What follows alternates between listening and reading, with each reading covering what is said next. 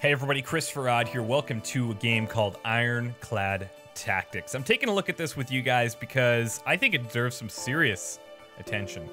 Uh, I've played this for about 30 minutes, 40 minutes maybe, and on the surface, it's like you kind of look at it and it's a combination at a very basic level of Plants vs. Zombies and like Magic the Gathering. It's really quite odd, but it's really quite fun as well. It's got a very nice uh, steampunk aesthetic. There's uh, the story aspect is very well done, and it's told in the form of uh, these comic book style storyboards. Really fun. So I want to show you this, but I do want to be mindful that I'm not spoiling any of the story for you because it's kind of interesting. Uh, it's a recreation of the Civil War using uh, automatons, not robots. Okay, very important. And uh, I don't want to tell you much more than that about the story, but I do want to show you some of the gameplay and explain how it works. Uh, it can be a little intimidating, so hopefully I can uh, do this in a way that breaks it down nicely for you. Uh, so first things first, uh, you start on this kind of story path, and the way that they train you is really interesting, and the fact that you don't just go right out into war. it shows you how to navigate the map uh, using a restaurant and you're a server and you're kind of navigating through uh, bringing food to tables, which was really interesting. A really nice uh, touch for tutorial sections in games that are typically quite boring. Uh, I actually really enjoyed it. And uh, when you're playing these earlier sections, you just use a basic tutorial deck that they've built for you.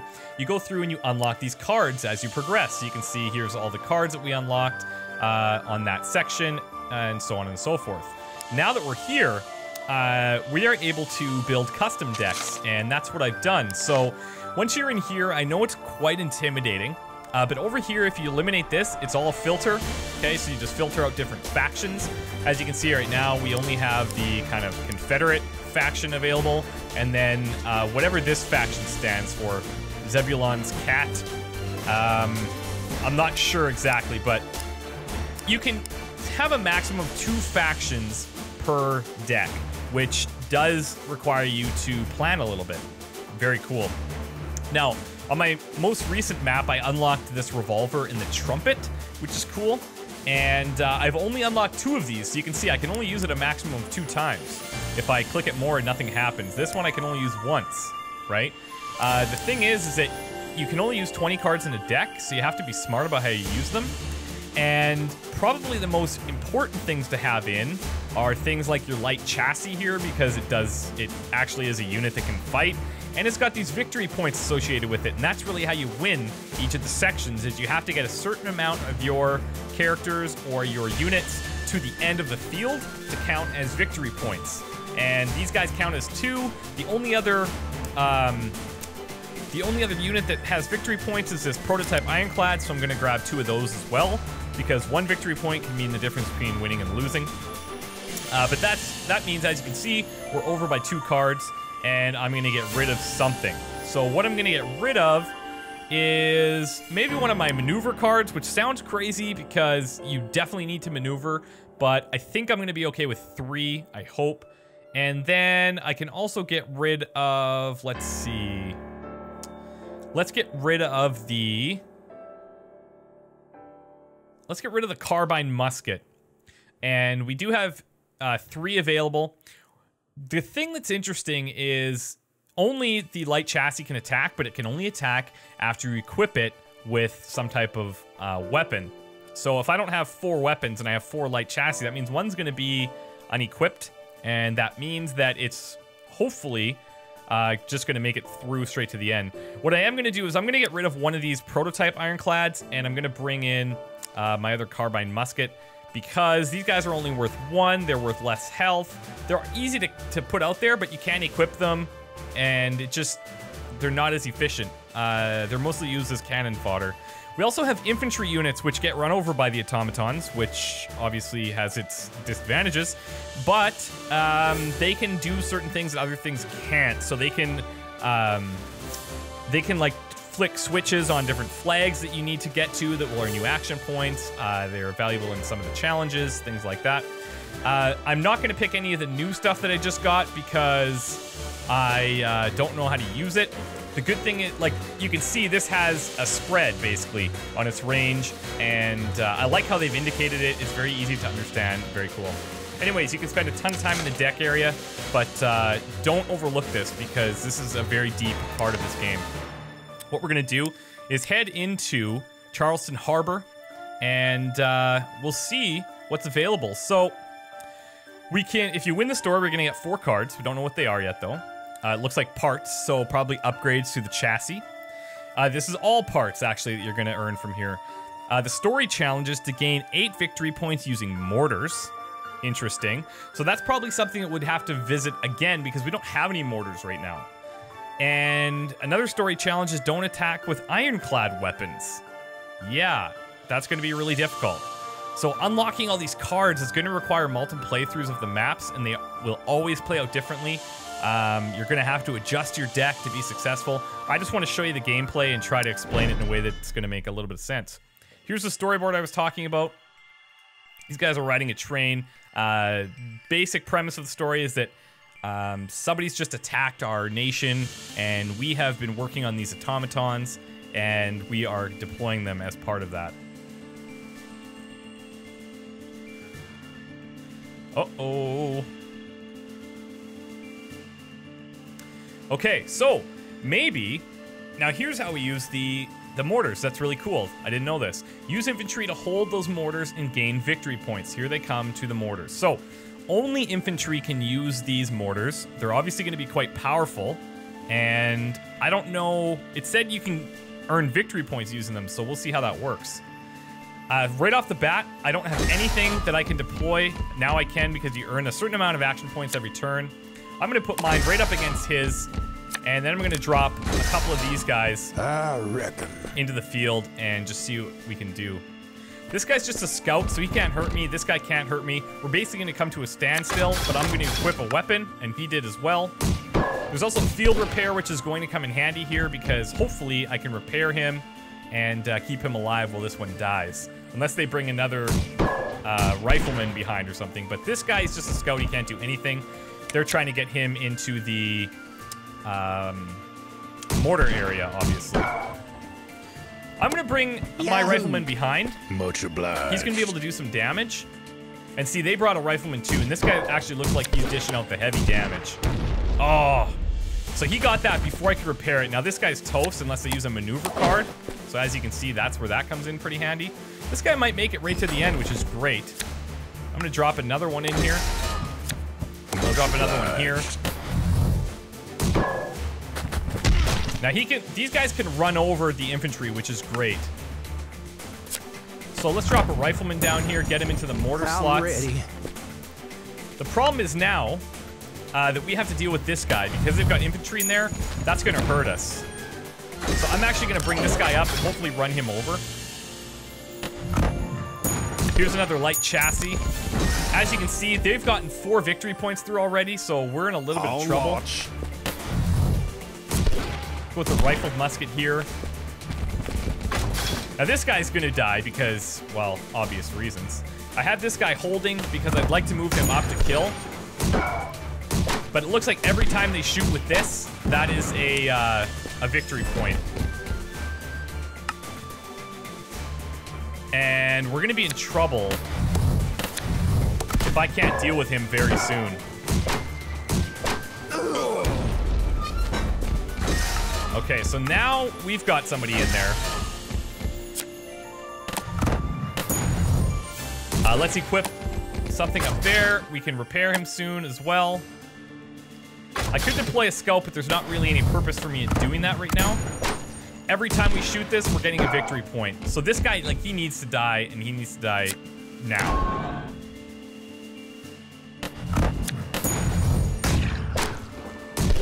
Come on. There we go. Now we're gonna throw a scout in behind.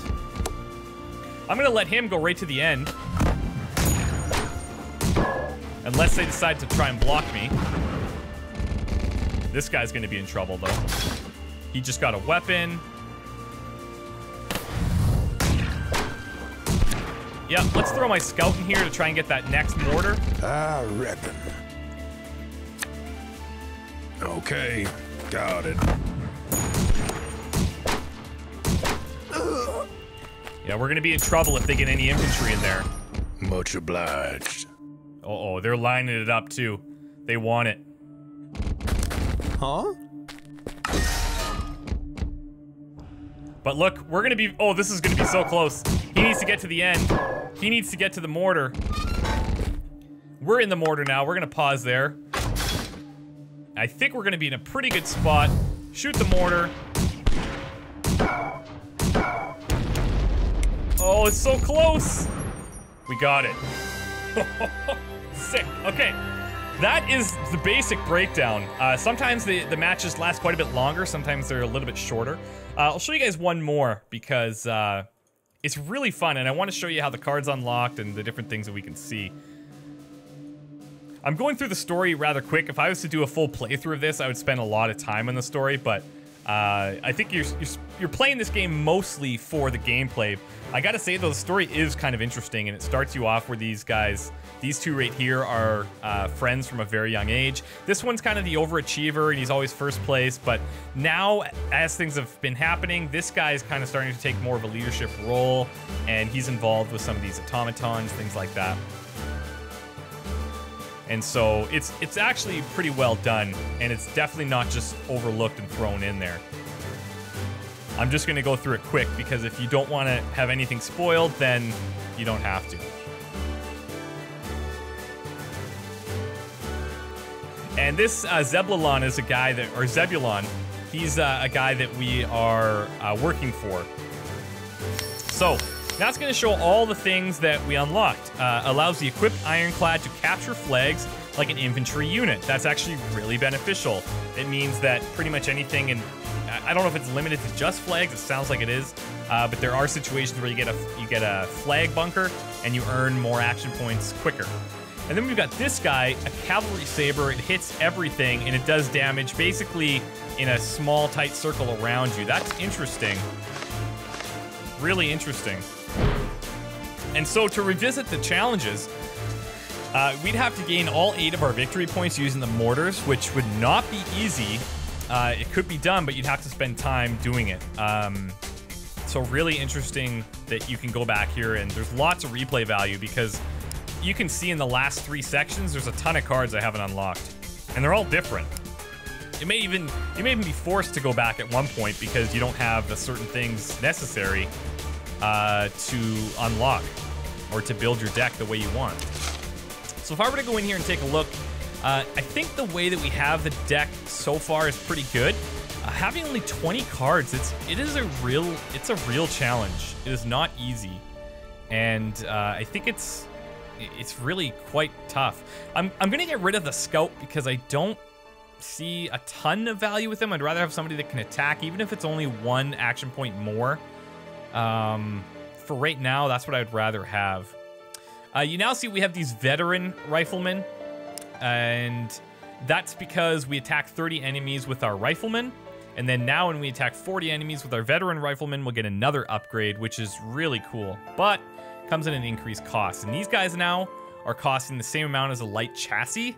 So got to be really careful with that. What I think is going to happen is we'll probably get to one of those bigger chassis after we score more victory points with these ones. So there's a lot of in-depth strategy here, and it is a lot more than what I thought at first glance. So tell you what, let's go in with what we have here. I'm going to actually remove a field repair. I, did, I feel I didn't use it that much this time. And I'm going to bring out a, a veteran rifleman because they deal out a lot of damage. And they're a little bit tankier. They, I shouldn't say they deal more damage, but they deal from further range. So pretty cool. And uh, this does two damage, whereas our carbines, where are we here? The carbine musket only does one. The rifled musket only does one. Hmm, tough one. You know what? Let's get rid of one of the rifled musket. Actually, no. We're going to keep that. We're going to get rid of one of these. Even though it's a lower action point, it's not that much different. And this one's already been upgraded. So we'll throw this into the Cavalry Saber. And uh, we'll see how that does. The Nice thing is, too, you can duplicate. You can make separate decks. You can have different strategies. Like, really, really cool. So let's go into the next one and see how it goes. There could be hundreds of ironclads in there. Okay. Oh, that doesn't look good. I hope that... Oh, yeah, look at that. Destroy the warehouse sentry. Oh, and he's gonna... Oh, what? Okay, I'm just gonna cannon fodder that one.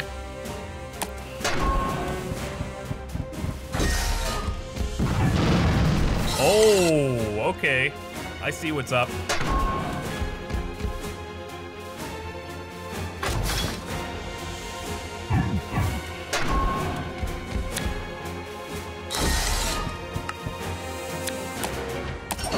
May maneuver this one out of the way. These little things are repairing him. That's interesting. Let's bring in a Much rifleman. obliged. Like, look at the range.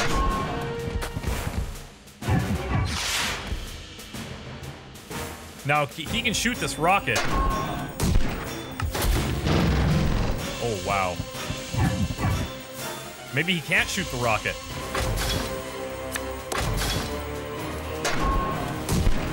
Yeah, he can. There we go. So if we destroy the rocket, it's not going to hurt us as much. That actually came in pretty handy there. But what we need to do is now, it's not about getting to the end and just getting victory points. It's about destroying this thing. I'm going to keep this guy paused. He's going to kind of be my fodder, but if we get him in there to deal a little bit more damage, that'd be nice.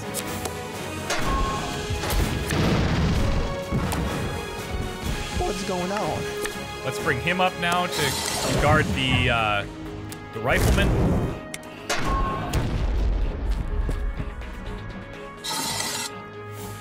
Come on. I'm gonna I'm gonna use a field repair on this one. He's probably gonna get hit here. No, maybe not.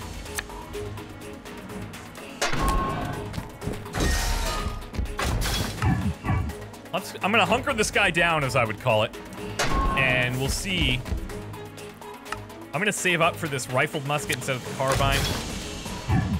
Because really, at the end of the day, this is what we need to destroy. And he's not making it very easy for me. If I'm being honest. Okay, there. Now he can get some shots off. A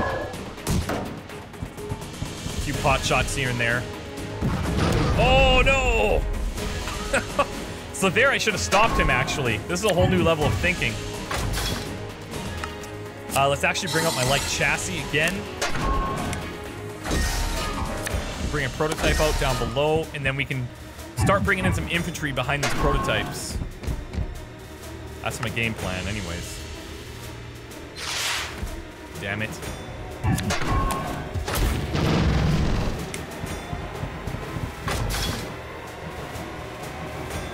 So now I'm keeping him here because I don't want I don't want this thing being able to hit me. We're gonna actually dodge it. He's gonna get two victory points from it, but I'm okay with it. I can't sacrifice another one of these right now.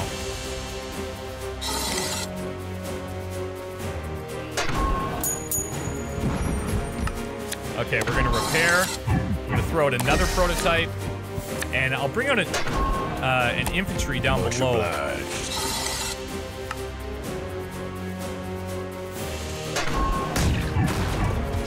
There we go. So now this is great too because it's dealing damage to his repair things in the back.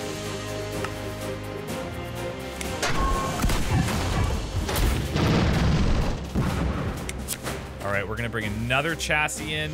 Um, let's go down. Actually, let's go here. Ah, that might not be the best idea. Actually, now that I think about it, I may have to maneuver him out of the way. Depends on where he throws his rocket. Okay, so this guy's gonna take this one out now. Let's see what happens here.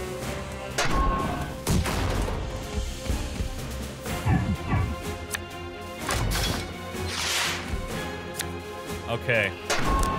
I'm gonna let him get that rocket through again.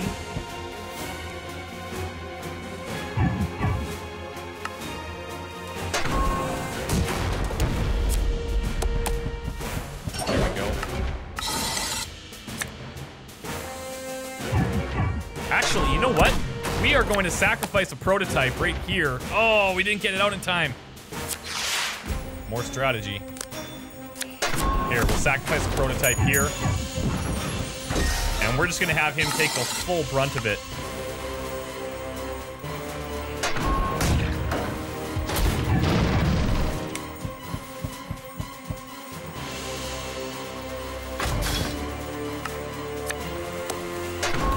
Missed it. Okay, so now I want to repair.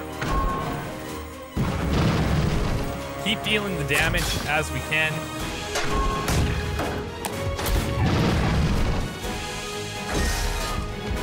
I could really use a, a medic here. Looks like he's gonna go down. Oh, maybe not.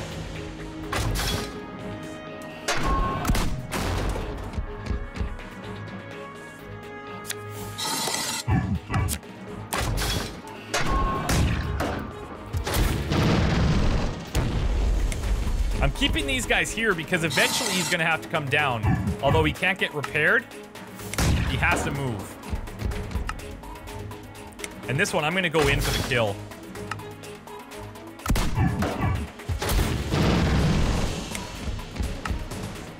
There we go.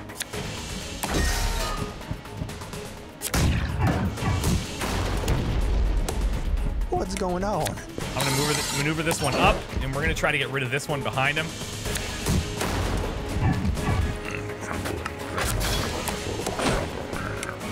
Let's get this guy in closer. Ooh, that's new. Don't like that.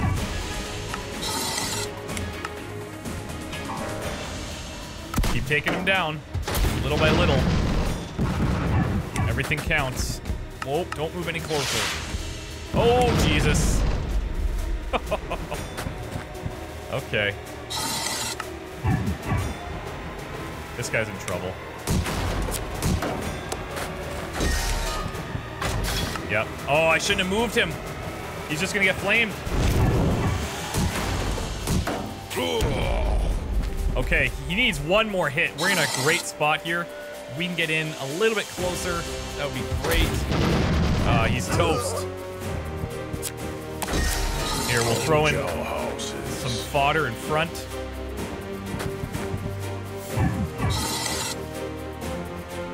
I think we're gonna do this here. It's close.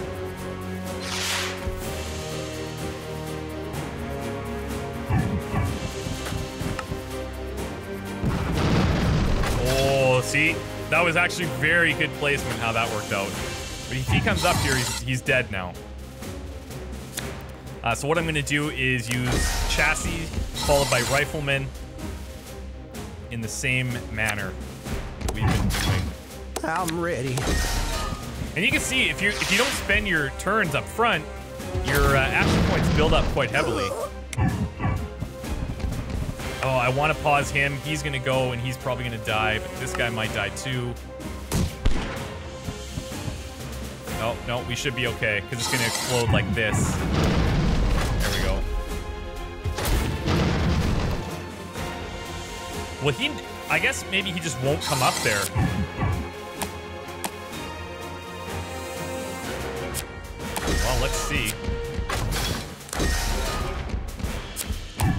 Repair this one even. Get going. Much obliged. Man, he deals up the damage.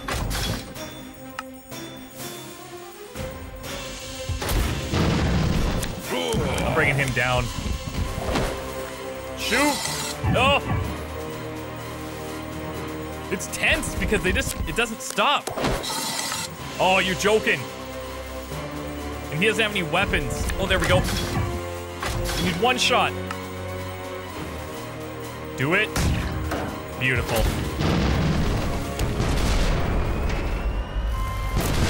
That's insane. I like that.